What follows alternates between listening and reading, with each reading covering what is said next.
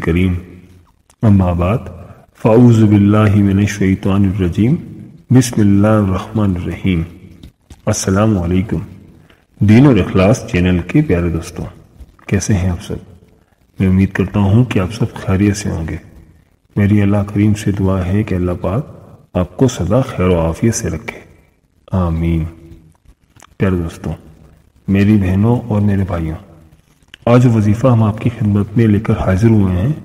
वो दुश्मन के हवाले से एक बहुत ही लाजवाब अमल है। आपने बस अल्लाह ताला का एक सिफाती नाम, या कादिरू, बताए गए तरीके से पढ़ना है। और ये अमल आपने कब, कैसे और किस तरह करना है, ये सब हम आपको आज की इस वीडियो में बताएँगे। वीडियो शुरू करने से पहले आपसे गुजारिश है कि अगर आप हमारे चैनल पर नए हैं या अगर आपने अभी तक हमारा चैनल सब्सक्राइब नहीं किया तो आपसे अल्तमास है कि अभी हमारे चैनल को सब्सक्राइब कर लें और साथ ही लगे बेल के बटन को भी दबा दें। इससे आपको हमारी हर नई और मालूमती वीडियो का नोटिफिकेशन सबसे पहले मिलता रहेगा। प्यारे दोस्तों, इस अमल की बरकत से आपको दुश्मन इन ताला अपनी मौत आप मर जाएगा। आपको दुश्मन जलील और रसवा हो जाएगा और और आप उसका अंजाम अपनी आँखों से होता हुआ देखेंगे। ये अमल बहुत ही पावरफुल है और बहुत ही ताकतवर है।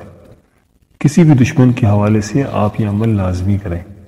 यह वजीफ़ा कोई आम वजीफ़ा नहीं है, बल्कि इंतहाई मुजर्रब वजीफ़ा है। इस वजीफे में इतनी ताकत है कि आपका दुश्मन दुनिया भर में जलील रसवा हो जाएगा, या फिर वो राह रास्त पर आ जाएगा। उसकी चाल उसी पर पलट जाएगी। और उसके सारे मंसूबे नाकाम हो जाएँगे। लिहाजा इस बारे में तफसील से जानने के लिए वीडियो को आखिर तक ज़रूर देखिएगा और कहीं से भी स्किप नहीं कीजिएगा, ताकि वजीफे तक मुतालिक कोई ख़ास बात आपसे रह ना जाए। हमारे कुछ बहन भाई वीडियो को स्किप कर करके देखते हैं। इस तरह से वो वजीफे की अहम बातों को मिस कर देते हैं और बाद में हमसे मैसेजेस कर करके पूछते हैं। लिहाजा इस परेशानी से बचने के लिए वीडियो को आखिर तक बगैर स्किप किए देखिएगा, ताकि आपको मुकम्मल फ़ायदा पहुँचे। पहले दोस्तों, आजकल के दौर में हसद की बीमारी आम है, और हसद ही की वजह से घर घर में दुश्मनियाँ हैं। कोई किसी को खुश नहीं देख सकता, और किसी के दूसरे की खुशी हासिल नहीं होती, जिसकी वजह से हासदीन जादू टोने और तावीज़ात का सहारा लेकर लोगों को परेशान करने की कोशिश करते हैं, और एक दूसरे के दुश्मन बने हुए हैं।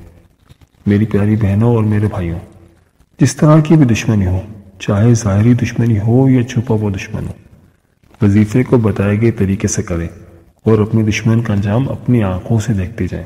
जी दोस्तों, इस अमल का तस्वीरी तरीके का नोट फरमा लें और अगर मुमकिन हो तो किसी डायरी या किसी पेपर पर पे नोट कर लें आपने ये वजीफा ईशा की नमाज़ के बाद या फिर चाश की नमाज़ के वक्त करना है करना आपको यह है कि आपने सबसे पहले अच्छा और ताज़ा वज़ू करना है।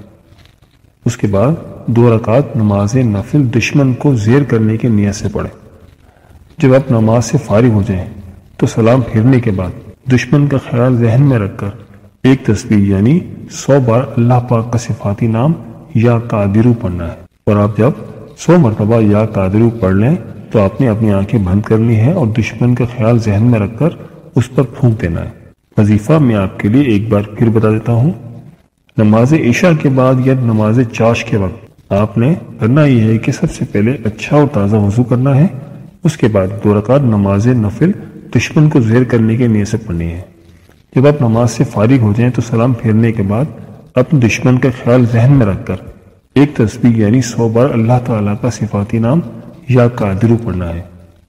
और आपने सौ मरतबा या कादरू पढ़ने के बाद अपनी आँखें बंद करनी है। और दुश्मन का ख्याल जहन में रखकर इस पर फूंक देना। है इन चंद ही दिनों में आप देखेंगे कि आपका दुश्मन जलील और रसवा हो जाएगा और उसकी साजिशें उसी पर ही पलट जाएँगी। ये मकाफात अमल भी हो सकता है। जो साजिशें वो आपके साथ कर रहा था, वो सब उसी पर पलट जाएँगी।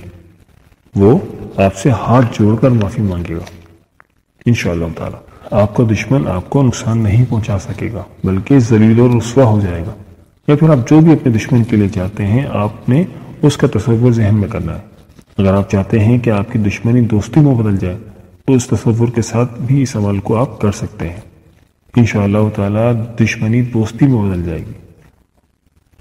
और दुश्मन की तबाही के लिए इस अमल को करेंगे तो आपका दुश्मन, तबाह हो बर्बाद हो जाएगा।